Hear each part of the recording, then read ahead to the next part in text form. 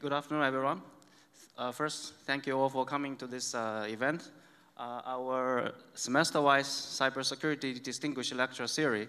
And for this semester, it's our great honor to have uh, Dr. Moti Yung here as our distinguished speaker. And uh, Dr. Yung is one of the few researchers in the crypto uh, cryptography and the security research community that do not really need much introduction. And he had made fundamental contributions in both cryptographic theory and uh, security practice. He has a very lengthy record of uh, achievement, which is hard to compress in one sentence. I'll try to very briefly summarize his uh, contributions. First, he's a great computer scientist. He pioneered uh, several fundamental contributions shaping the actual foundation of modern cryptography. And second, he's a great practitioner.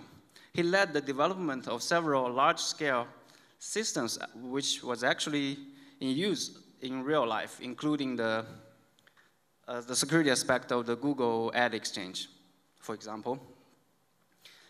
And the third, he's also a great educator. He, the, several of his students he ha have been uh, co-advised along the years at Columbia already become the leaders in our community. Uh, the, the last one is also very interesting one. His book of crypto virology 20 years ago envisioned the, emergence of uh, ransomware and the large-scale subversion of crypto standard and algorithms, which was actually carried out and exposed by the Snowden revelation. Uh, of all, any of these achievements, of course, can define him, him with uh, many prestigious titles. Include, he's the fellow of uh, IEEE, ACM, IACR, and also the recently elected fellow as EATCS. So now let's uh, give a warm welcome of our speaker, Moti Yung, today.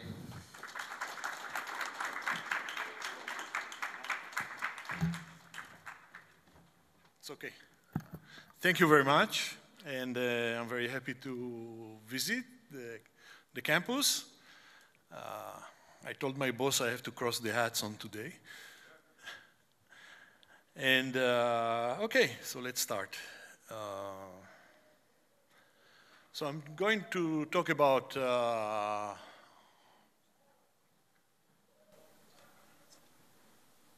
so I'm going to talk about uh, uh, from mental poker to core business, why and how to deploy secure computations uh, commercially.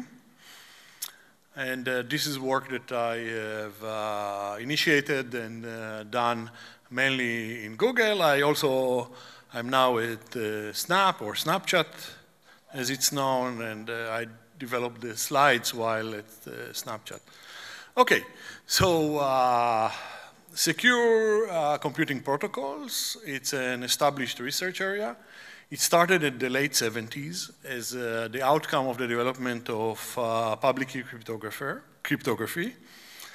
And uh, it has many interesting and uh, basic uh, fundamental ideas that are surprising and mathematically interesting and uh, it's part of theoretical cryptography. Every theoretical cryptography conference must have at least one session in secure computation or uh, secure function evaluation, as it is called, and so on. And uh, many people have worked on in this area. It's a very active area. So let me start with the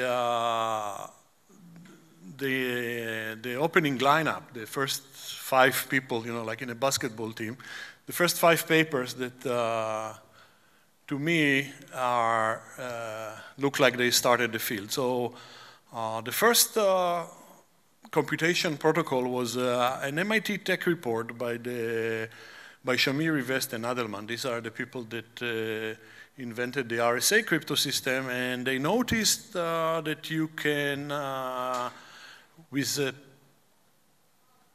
uh, public key uh, cryptography technology, you can uh, devise a game between two people so they can play uh, poker over, over, communication lines.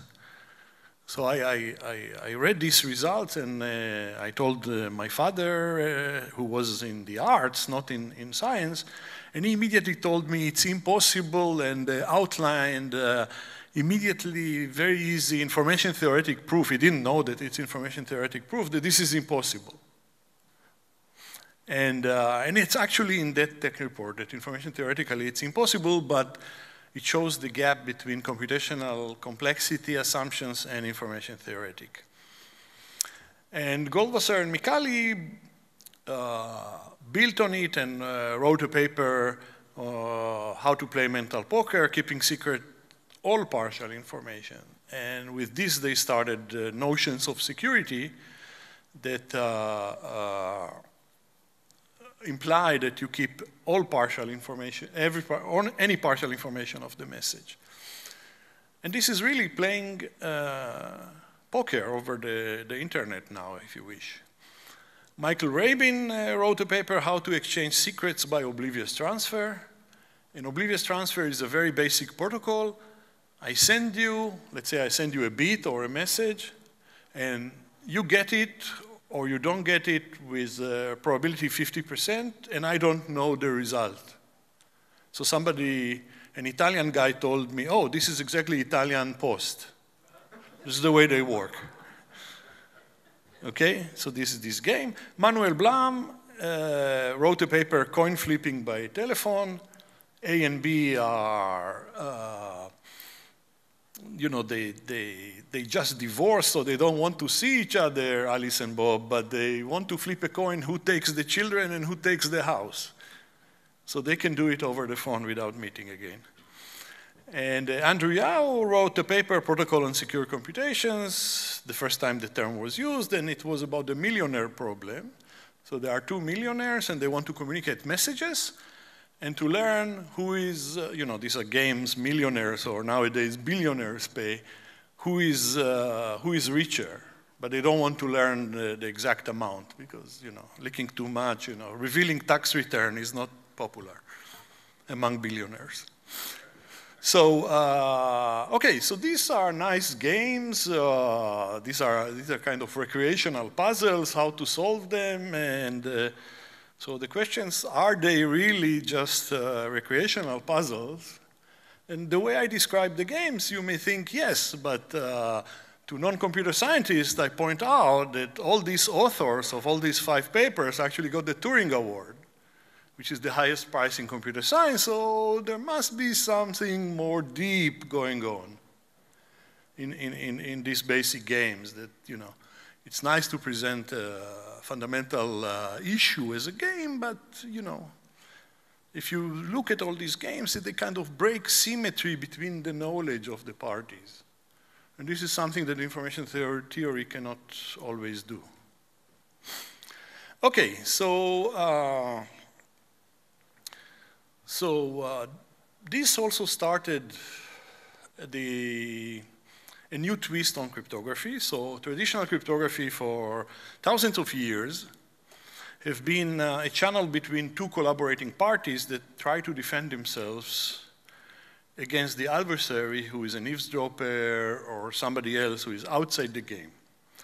In secure computing, we do actual computation between two parties contributing inputs in some sense, and the adversary controlling the insiders, the parties themselves. So the insiders can be uh, the, the adversary. No need to assume some external party. You know, A and B compute, and I want to know B's, A wants to know B's input, and vice versa. Okay? So this is more like a privacy concern among the parties rather than security, securing against the external world. So this is really a new, a new twist on, on, on cryptography after maybe 3,000 years of, of people doing cryptography. Okay, so, uh, and the goal is to compute something with these inputs while keeping these inputs private. And uh, the area, so it started in uh, 78, so it's 40 years. The area has evolved, the theory has evolved, uh, there are general protocols, many, many results in many, many models. uh, general uh, secure computing, so the two parties and then multi-part, multi, multi-parties can collaborate with their inputs and actually compute, can compute any function, for example. This is fundamental result. And, uh, and the, the doing so and uh, doing secure computations uh, uh, is used as, as, as, the, as a fertile ground for modeling various uh, cryptographic properties, like composability of protocols, adversarial models, and so on. And uh, besides the general protocols, I want to point out that there is also theory of uh, special efficient uh, protocols that we would love to implement, like payments or auctions or voting or lottery or large data, uh, large data set data mining that we want to do.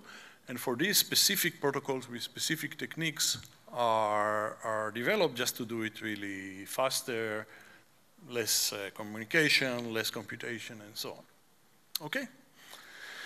So recent developments uh, uh, in the last few years, there's more applied secure computation area, more emphasis on communication and running time and optimization. And uh, these type of papers that used to be in uh, theoretical crypto and general crypto conferences now appear, so people really implement and they have benchmarks and they really run it and they have running times and and these papers appear in uh, more applied uh, conferences like Usenix, CCS, Security and Privacy, and, and so on.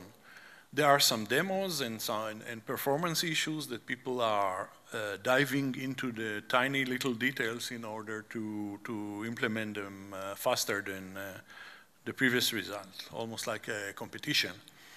And there are some uh, protocols that uh, have been implemented for uh, specific cases, like uh, election protocols, which is like an incast of, of votes that are being computed, or, or national lottery, which is like a multicast of, of, of results to, to, to, users who uh, submitted their biddings, the, the bidding. And, uh, and of course, there's Bitcoin, which is a public uh, chain. So there are, and I don't mean to say that there are no implementations of, of, of cryptography. There are many. And uh, in the last, uh, also in the last five years, we started to see uh, initial uh, protocols uh, deployed. There is the Danish uh, sugar beet farmers bidding that runs, I think, twice a year and is done in a secure computation fashion. And there are, in, uh, in Europe, there are five startups in the area of uh, secure computing with special goals in mind.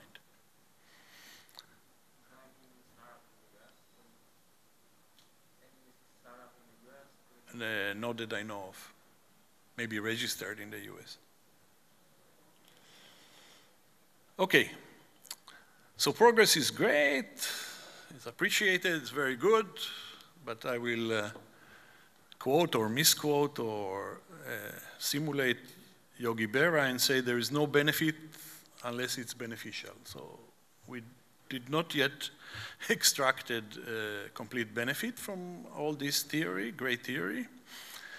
And uh, so here are things that I heard uh, over the years. And you know, you hear some, something, it probably is not true or is not completely true, but it motivates you. So uh, over 15 years ago, a security researcher told me dozens, oh, dozens of crypto conferences, hundreds of papers per year, and essentially a single protocol in use. He meant TLS. Well, it's not right. It's not correct, of course. Obviously not correct, but you know, when you need to explain, uh, you're already in a bad position. And uh, but that was an impression of somebody, or no, somebody in networking who saw TLS working and he thought that's the only crypto. You know, he forgot that crypto is in mobile networks, uh, in mobile phones, and uh, you know, and uh, in, in use in, uh, in storage everywhere, and so on and so forth. But you know, for some guys, TLS, it's the start and the, and the end of crypto. So I decided, yeah, we need to understand what's going on. And then I saw all these uh, protocols that are everywhere. And I decided if and when business is ready, we will move more uh, advanced tools to, to help the business. Okay? And uh, you need to move from pure theory to, to, to practice. You have to cross the chasm. And uh, about 10 years ago, I decided that with internet uh, economy of different parties and the, the, the, need to analyze big data in order to improve a lot of what's going on in the business, and then hosting, which now is called cloud, and, and, and, and, and uh, mobile devices, now called mobile ecosystems.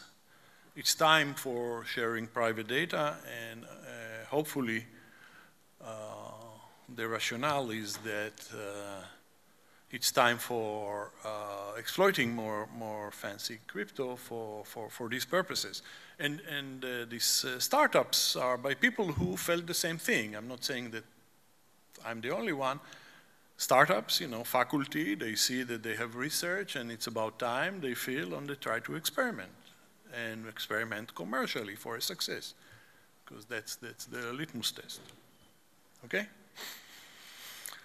So uh, over the years, I, uh, I asked uh, various uh, cryptographers uh, what would be considered a deployment of secure computing technology. Okay, so one, one cryptographer told me a business application which runs routinely. That would be a success from a technological point of view, not from a business point of view. Uh, a second cryptographer already added the, the business aspect and he said high impact business application. That would be a success of the technology. A third cryptographer who works in industry told me when I suggest such protocols, I'm told no engineering team in my company will be able to implement them, so I conclude it's a good theory, but only theory, essentially. Okay? Nothing wrong with theory because we understand things, but it's not, it's, it's a means to an end, yeah? Okay, so we need to, to cross the chasm and uh, we have to understand what's different between scientific work and, uh, and commercial use. So of course in scientific work, there's a typical uh, paper flow. We need to present a problem, argue its importance, application, and so on. Uh, we need to convince committees that it's, uh, it's really an achievement. We need a model, solution, a proof, sometimes uh, breaking some other thing. Sometimes we demo it with, with, uh, with an application that does better if, if it's more applied rather than theoretical. And we need essentially to solve the problem. If we can solve the problem, we tend to solve a relaxation of the problem. Okay? And then argue how the solution has nice applications and implications in, gener in general. And it can be, the paper can be theoretical or applied, that's more or less the flow. And hopefully when we do relaxations, uh, uh, we should uh, keep uh, the relaxation uh, relative to the original problem uh, meaningful. Yes, because and that's the picture there. There's a big philosophical question, what came uh, first, the chicken or the egg? And a computer scientist said, it's a hard problem, but I'll solve you a relaxation of the problem that hopefully will shed some light on the original problem. And the problem I solve is the chicken and the boiled egg, what came first. Okay? So we have to be careful. Okay, but from, from, from the papers to, to core business, by the way, all I said about scientific papers, I talk about myself. I, I write scientific papers, mainly theoretical, some experimentals, and so on. This is not a criticism or self-criticism, this is the nature of the beast because you try to understand isolated phenomena.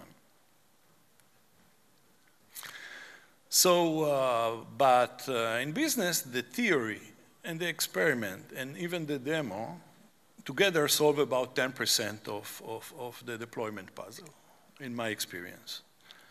And when I gave this talk with a bunch of people from industry one time, and they came to me after the talk, and I will not mention from which company, and they said, oh, you work at the time for Google, and maybe it's 10%. In our company, when we do all these things, it's only 1% of the problem. Maybe your engineers are so great, they need only 90% added. For us, it's 1%. So, you know, I, I don't know. So don't, don't take this 10% as uh, really a quantified uh, percentage. It's, it's about epsilon portion of, of the big thing. Because with business, we need incentives and clear benefits to start with. We need, uh, for example, the crypto may come from different reasons. People don't come and say, oh, I need crypto here. Right? They need to solve some problem, and crypto is a component, or, or other security technology is a component. And you need awareness and knowledge of the business issues, and, and the, uh, assess your engineering and, and, and product plan and software development plan, and like where, where and when to, to, to uh, introduce your things, you know, not not every time is a good time to, to introduce a new piece of software if your company has already a well-defined software development plan and, and, and so on. So what you need to play and what I needed to play in, in, in, in what I'm going to tell you is a little bit of a product manager, somebody that goes around and say, we have a new product, how do we push it to real business? And here are the players, here are the engineering teams that need this solution, and here is the way to integrate with them. And here is the, the software plan. This is the, what they do. These are their, cl their clients or partners and so on. And you, you know, I'm not going to give a talk here about product management. That's a course by itself, but just it's, it's different than, than, than working on a scientific paper. That's, that's what I'm saying here. And you have to propose solution, with the actual problem that it solves and why it is uniquely positioned to solve it in the best way, cheapest way, and, uh, and so on, and there are no alternatives. And uh, you need to know where and how to use opportunity in the overall uh, product context to be successful. Especially if the company is already working, it's already successful, it already have uh, many, many things going on. And definitely you have to start with real issues and real problems facing the company or facing the industry and so on. And uh, bear in mind that crypto does not live alone. Sometimes crypto can be orthogonal or antagonistic to other aspects of, of your system, its very function, or its performance requirement, or usability, the user aspect, implementability, trust models, and so on, and, and uh, you have to understand them. And crypto is best applied when the above conflicts do not apply, or if security and privacy requirements dominate. Okay? And I have many examples uh, that I will not go, go into how uh, security requirements or even crypto requirements go against the, the system function or the, definitely the performance, you know, it's obviously an overhead. Okay, so back to crypto and back to history. There are three generations of, the three generation that I uh, call, I call three generation, I characterize it of modern cryptographic technology technology. So there's symmetric crypto with DES and AES later. This is uh, cryptography when the parties uh, share a key to begin with. And uh, the main driver at, uh, when it started at the early 70s was uh, interbanking communication. Suddenly, the banks became branched and they needed to communicate. And they needed crypto for commercial use and uh, NIST uh, came up with uh, the DES standard. Then public key cryptography, where user can communicate uh, without sharing key. Actually, in public key, the, the decryption key and the encryption key are different, and everybody can encrypt, and only the owner of, of the key can decrypt. And it it got its initial use in distributed systems, and of course, the internet was a big, big motivation with, uh, with TLS. And uh, this is technology that came out in uh, 1976, 1977, Diffie-Hellman and RSA, and other technologies. And then as I said, the year after public key and RSA came secure computation protocols. And uh, this is by now 40 years, and it's, uh, it's a technology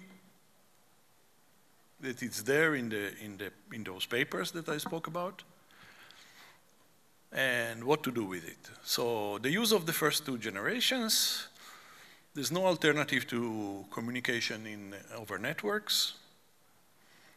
We cannot implement Pigeon Post or Pony Express electronically and make sure that the, the mail is safe. So we have to, we have to, uh, we have to guarantee that the communication lines are, are encrypted and either by sharing a key or running TLS, which is an authenticated key exchange after which we use the exchange key to send uh, communication. Okay, there's essentially no alternative, so that's why it took over. And the third generation, how to approach deployment. So around uh, the time that I started to think that it's the time to do it, I, I, I, I, I joined Google, and one of my uh, effort was uh, because of internet collaborative business and uh, and uh, hosting and so on, try to think about what parts of multi-party computation uh, will be needed, and the approach is uh, first find the easiest use, the, the, easiest use case, demonstrate that it solves uh, this problem, and then other applications will follow. It's the phenomenon, I call it the foot at the door principle. When you have new technology, have a first application, put a foot in the door, demonstrate, then people see it's working, and then they will come to you rather than you start running after them. So what happened in Google that you know there was the first application and it was successful, and there was the second application, and suddenly uh, the group got a product manager and things like this. That I stopped playing product manager.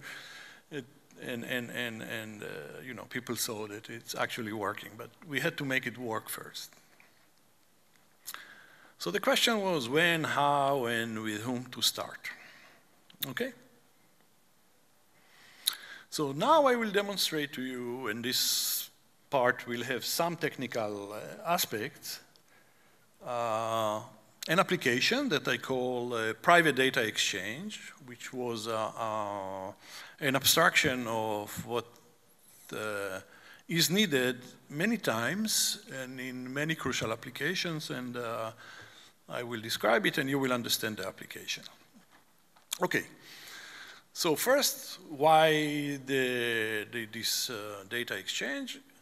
Because um, it, uh, it fit the, the, the, the footprint, the, the, the plan of where to deploy. It's an offline computation. You want to put offline computation because you have overhead. You're not going to, in the context of a big internet company, you are not going to find uh, that you want to really work on two data elements or five data elements. We are talking million data elements, millions of data elements at least. The application has to involve data from different companies, different sources, and have concrete privacy and sharing restrictions, user privacy regulations, trade secrets, and so on, that you cannot really share. And alternative, alternatives are all bad and will be rejected. And uh, let, let, me tell you, the, the second people that I suggested to them to use it, they told me that they will check uh, alternatives with their clients because they, there is easy way to do it. I told them, fine, go check, of course, you have to. They went to their clients. They said, no, no, no, they want your solution. I said, who is your client? They said, oh, they gave me this name, Financial Institute. I said, you should have told me to begin with. I would have saved you the time going. Of course, they, in, in those transactions, they cannot do it in another way. And they have professional cryptographers that are not going to uh, allow the solution, the simple solution. Yes? And of course, it has to be central to the business because, you know, who cares if you, you know, if it's with a big company that makes uh, tens of billions, if you are not approaching a billion uh, uh, or some information that is crucial to billions of dollars of uh, business, you didn't do anything. And you have to think uh, because uh, where to deploy it, okay? So here is the, the concrete working system. So assume a content provider, I call it G, and it has a viewing user list. So think about this as people viewing uh, advertisement on the, when, while browsing or something like this. And then there is a transaction provider, a merchant, call it M, that have the spend values by users. And they know who pay and how much. This can be the merchant or the bank of the merchant in real life and things like this. And the goal is to discover the spend values for a set of users of G per merchant to assess the correlation of viewing versus spending. So you want to compute the total spend value and the number of spenders at M from the list of G. And you may leak some upper bounds on the size of, of, of this, these users. These, these essentially are known. And the raw data cannot be, cannot be exchanged. There are financial regulations and restrictions and self-restriction. And to even find out where this is needed, I participated in other solutions that allowed third party to do the computation autonomously somewhere. But even this is not allowed. So there's no alternative. This third party is always the alternative to secure computation.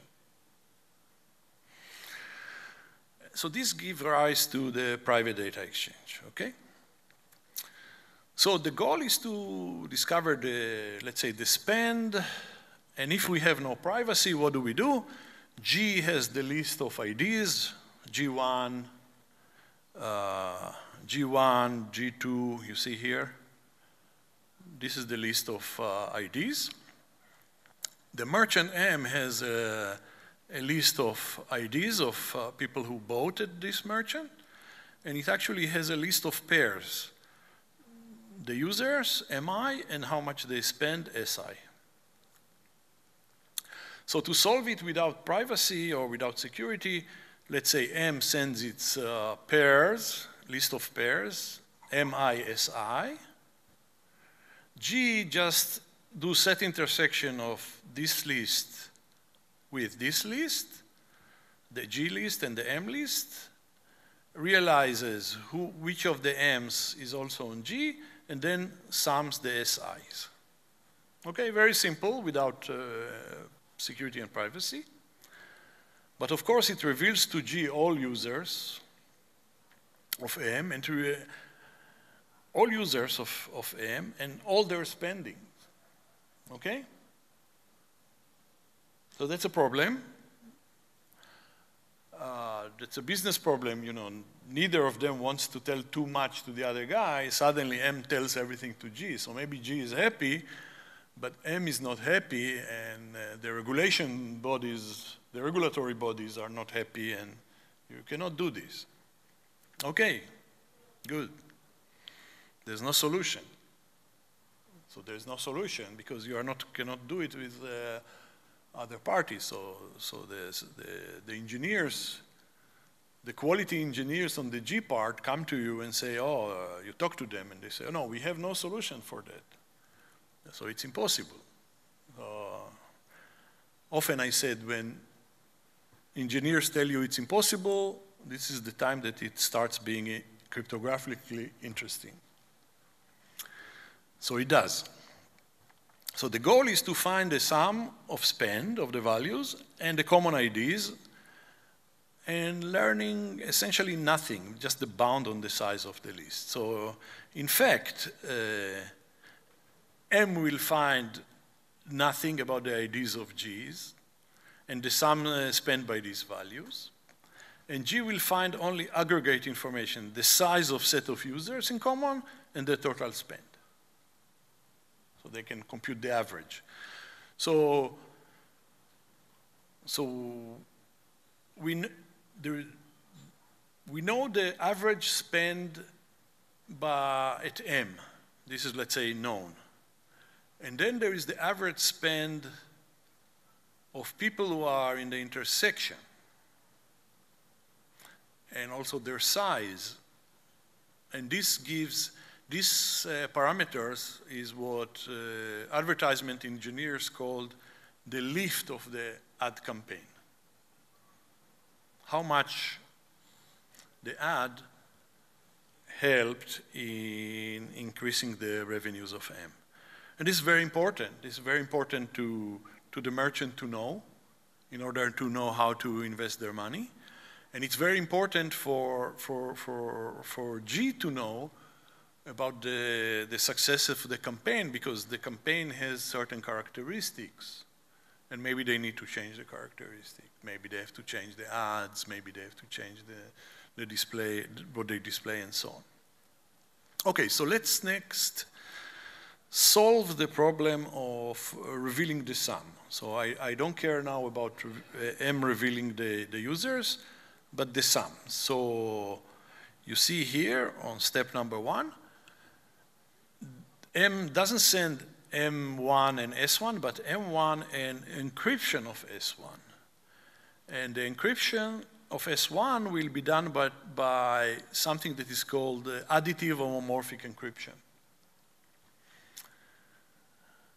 Then uh, G finds the common IDs. We don't mind to, to leak the, the, the, all the IDs of M and all the and, and the intersection. And he has this uh, set, let's say M1 is common, then he takes E of S1, and so on. And then he has a subset of these guys. He multiplied them together.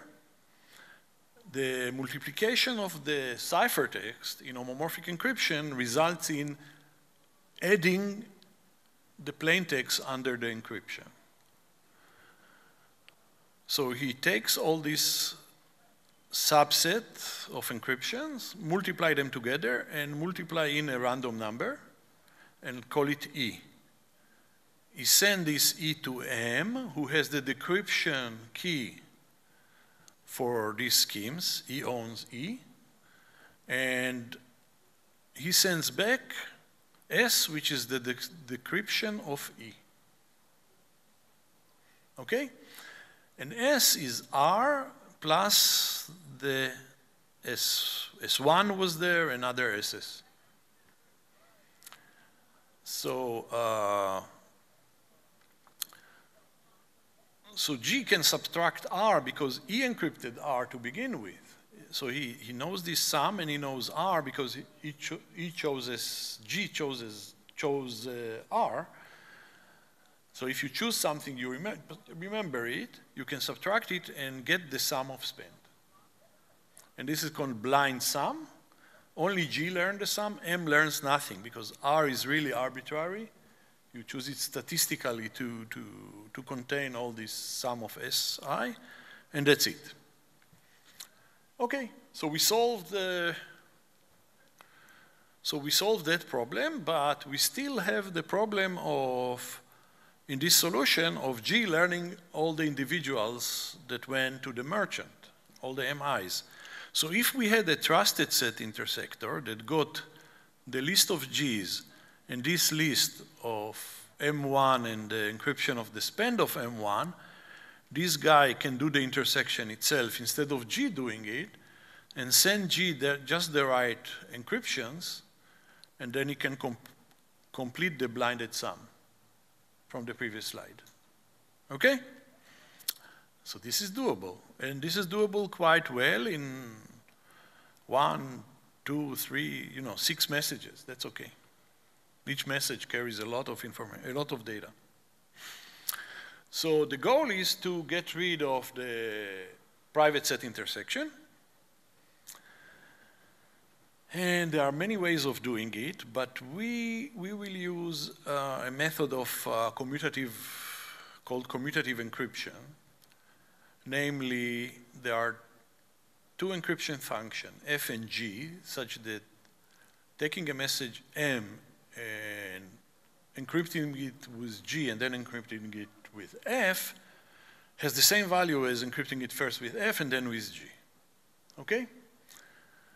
Uh, okay, these are the commutative function and uh, and to get commutative encryption, you have to go back to prehistoric uh, cryptography and there is such system called Pohlig-Hellman. It was invented in uh, 76 without uh, any proof of security, which is, uh, it's a pre-RSA, it's just m to the E1. E1 is a private exponent, modulo a prime number. So you work in a, in a, in a prime group where uh, reversing, uh, taking, uh, taking roots is easy, so you keep the E1 uh, safe as a, as a secret key. It's not a private, it's not a public key, it's an asymmetric key. So G of M is M to the, so F of M is M to the E1 mod P, working over the same domain, and G of M is M to the E2 mod P, and uh, Adi Shamir in 1980 showed that, I mean, observed that uh, there is commutativity here, and uh, you can use it. Okay?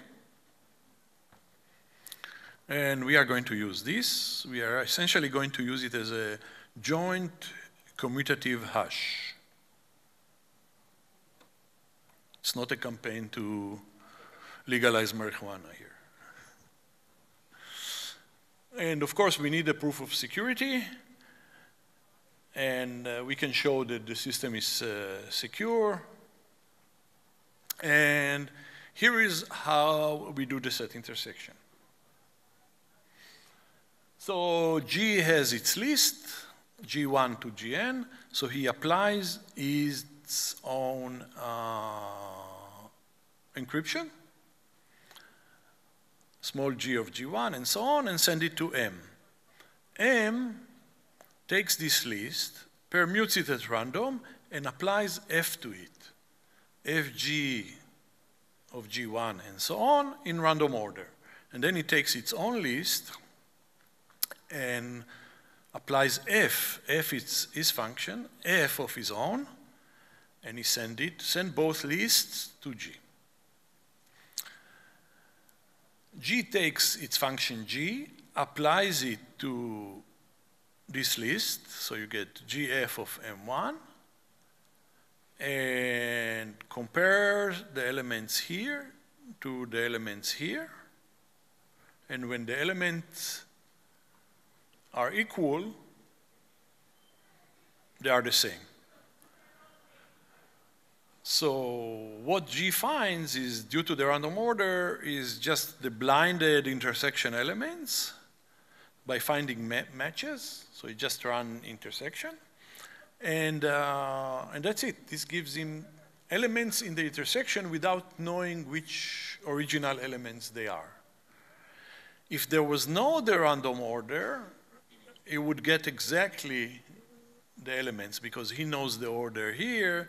If on the list back to him after second encryption, the order is kept, this gives us exact set intersection.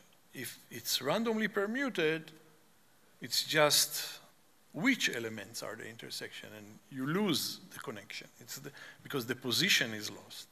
So it's the phenomenon of we get two birds with one stone here. You know, there may be applications of the protocol that you will need. And the complete, complete solution is just combining the blinded sum and the set intersection. So you do, again, gsend encryption of its list, element by element with his key, gets back the list doubly encrypted, and gets n permuted, get back m's own list. The names of the user encrypted commutatively, and the sum encrypted with linear homomorphic scheme. Uh, these elements get to G, applies its own, doubly encrypted on M's list, find the intersection, picks the, the right encryption, and complete the blinded sum.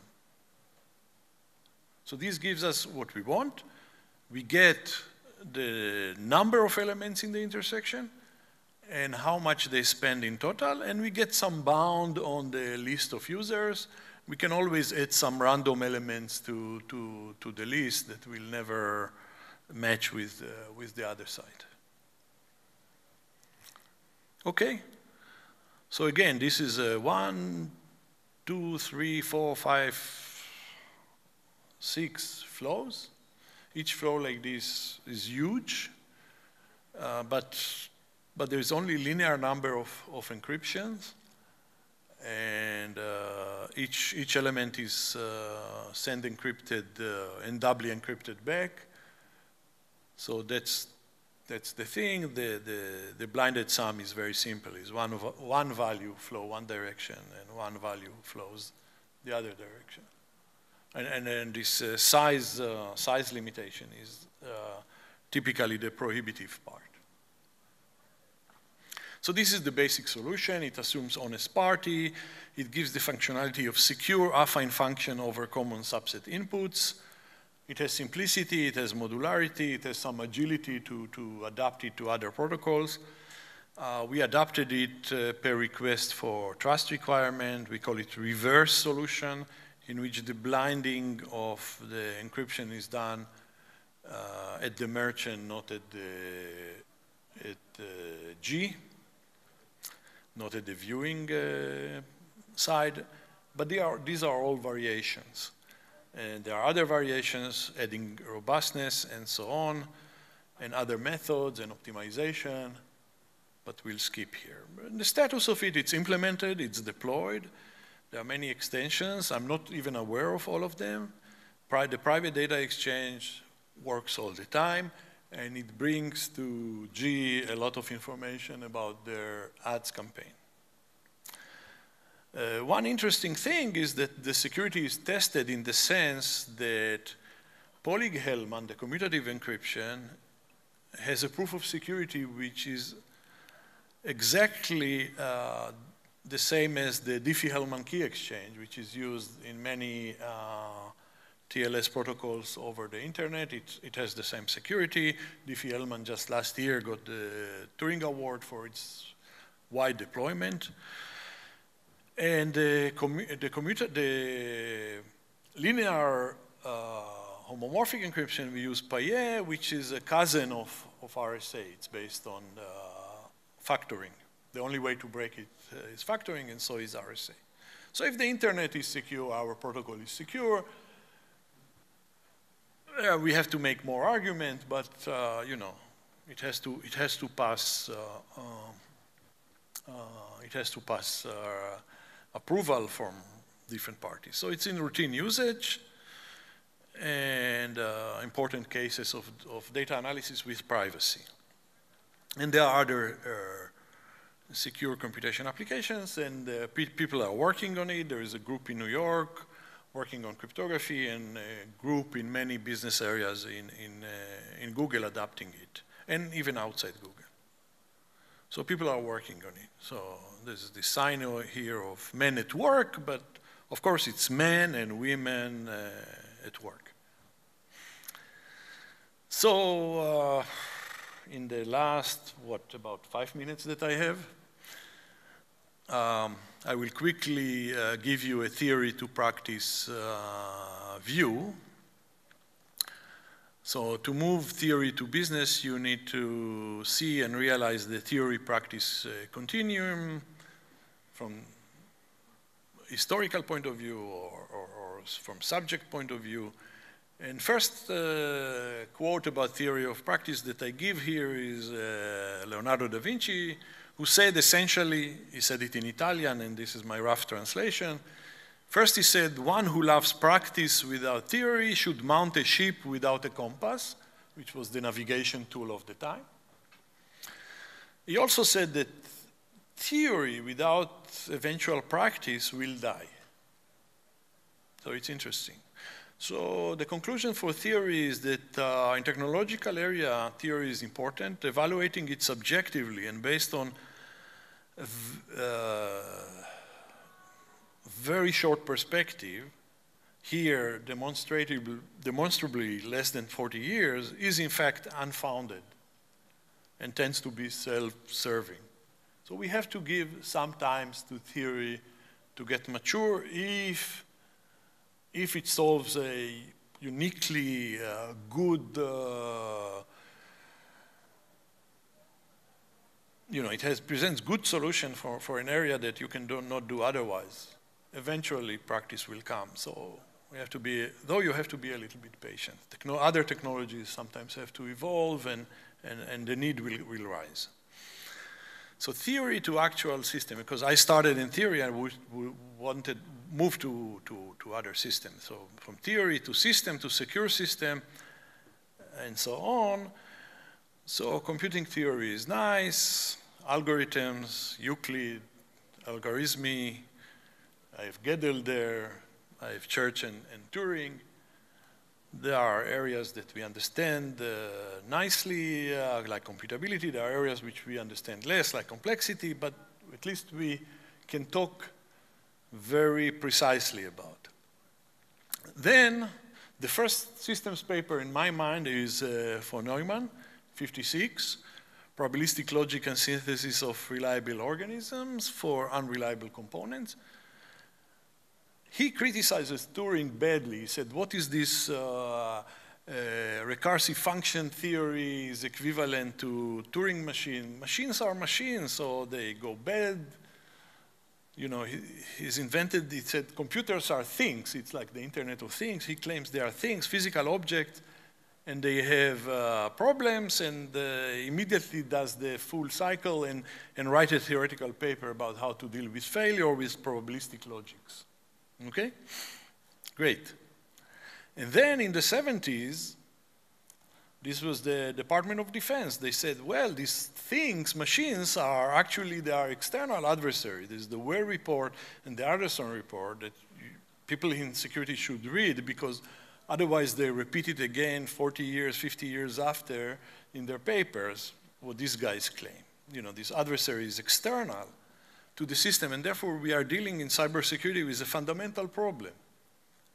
Because it's external to your system. Doesn't matter how much money you're going to spend on your components in the system, the adversary is outside and he or she is laughing. So it's fundamental. It's not something that with more resources will be solved. And you know, it comes from defense, and we have to take uh, other philosophy into mind. Uh, Machiavelli, by the way, is there not because of the prince, Il Principe, which is his famous book, but because he had another uh, one about war. And modern systems are complex. So crypto in engineering I'll tell you, there's no fixed recipe, but there's at least general principles how to approach it, from especially new technology, from starting with the right theory and specializing it. What we need the right interpretation of theory, away from the theory classes that we, we learned there. Specifically in security, attack models, risk management, incentives, liabilities, legal issues, and so on apply. Secure component proofs, uh, components that are shown theoretically uh, in, in the right model to be secure, they do matter, but the aesthetics is different than in theory, solving very real, critical, valuable issue. You know, one would say, why did you have just a six uh, six, uh, you know, a protocol of six flows, and at most you encrypt uh, twice. I, I wrote papers with uh, many more uh, communi communication rounds and many, many more encryption, and you know, and it's very, very harder uh, security proofs, you know, but they are not really practical. you know, the, these things really need to work. So uh, I'll finish with a comment about elegance by quoting uh, two giants. Uh, George Polya, the philosophy of philosopher of mathematical discovery of the last century, wrote, the elegance of mathematical theorem is directly proportional to the number of independent ideas one can see in the theorem, and inversely proportional to the effort it takes to see them. Because if you start to be overly technical and, and, and, and you get lost in the details, you lose the elegance in, in, in, in theoretical research. And uh, against him, I would uh, put, for the elegance of practice, I will put uh, Boltzmann, who was very miserable and very badly treated by the uh, physics community at the time because lo and behold, he used the notion of atoms in his papers. And they were something that chemists did, but it was never proved experimentally that there are atoms in the universe. And then he committed suicide. But he said, if you are out to describe the truth, which I think practical, actual, commercial implementations are, leave elegance to the tailor. Okay? So, big line, and then I quote myself, not like the giants, uh, just myself. The technical problem solver solving process of truly confusing and messy real world situation is at the end elegant because you have to navigate mess, mess in the on the business side, mess on the solution side. You have so many real constraints and you have to solving. Finally, there is a solution. It solves it according to the specification. This is the definition of elegance. Thank you.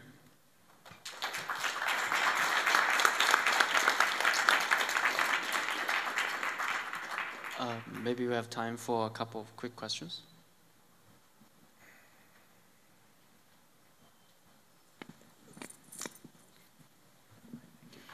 Hi. Um, what would you say were the biggest hurdles in, uh, for transforming that um, protocol based on secure set intersection and blind sum into a commercial product?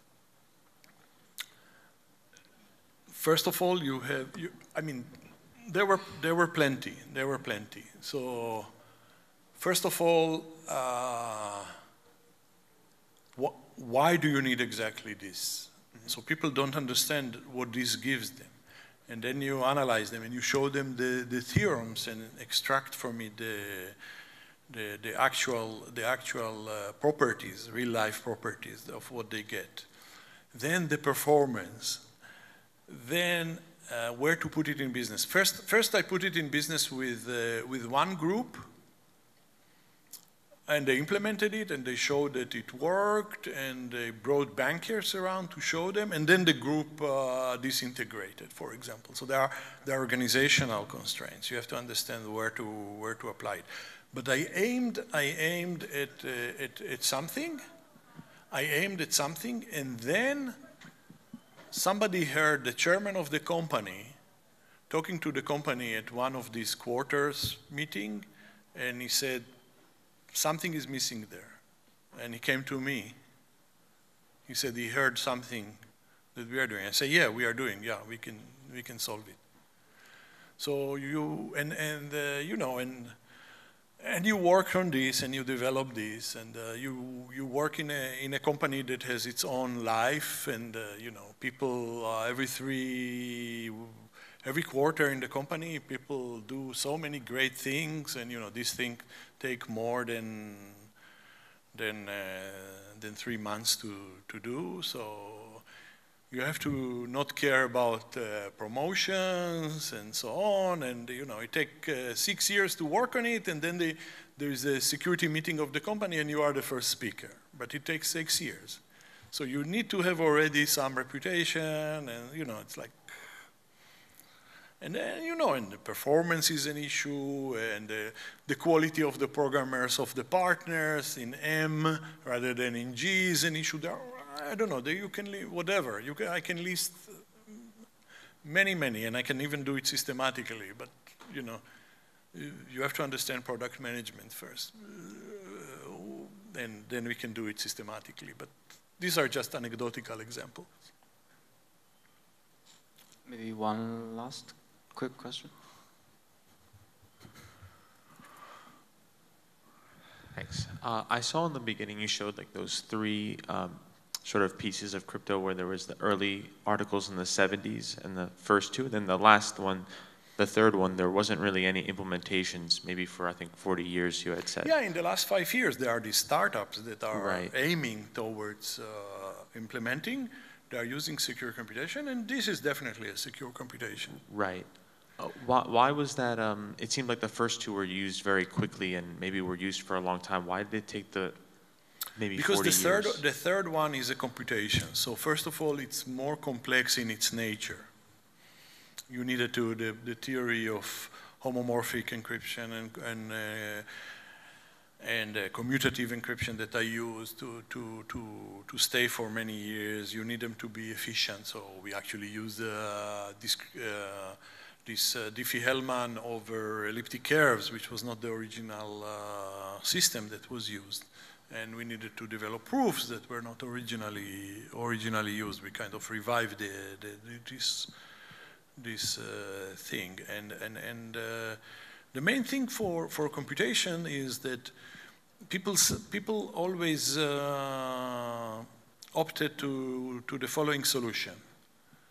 We'll put a computer in the Nevada desert you will send your inputs there, it will compute, it will send back, and then we'll ask the USAF to come and bomb it, and that's it. It will all gone, or we, we, we maybe put an atom bomb there, and you're sure nothing is, uh, is left from the inputs. Or I'm, I'm exaggerating, but essentially, you are emulating a trusted third party. And as long as you can do it, you can do it. And you can do it right uh, in a, right way, and you can do it in a wrong way. I participated in efforts where it was possible. I plugged myself there inside the company, and we did it in a smart way so that when the, you know, I, did, I didn't even suggest to use secure computation when it was possible to be solved otherwise. But when it came to a merchant that has a regulation not to reveal any transaction and not to employ any third party, any computer in the desert, I said, aha, I have a solution. So I put myself in, that's not my only contribution in, in, in, in this domain of doing uh, analytics, but this is, the, this is the computation when the trust constraints were such that secure computation was a must.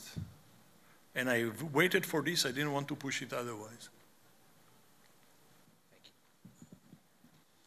Uh, okay, let's thank our speaker again, and thank you all for coming.